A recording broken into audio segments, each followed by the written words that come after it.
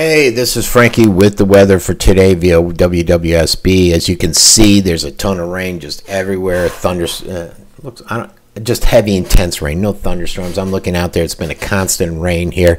Like I said yesterday, 80% chance of rain, and it's holding true.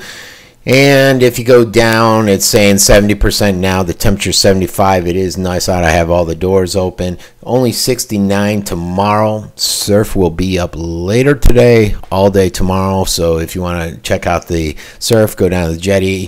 When I was young in the 80s, I used to, went, had a short board and then went to longboard. And now I'm on a stand-up paddle, which to me is actually more workout, but it's better on the back and it's good for us old guys. So that's been your weather. Everybody have a great day. This is Francesco Abbruzzino with The Scoop News.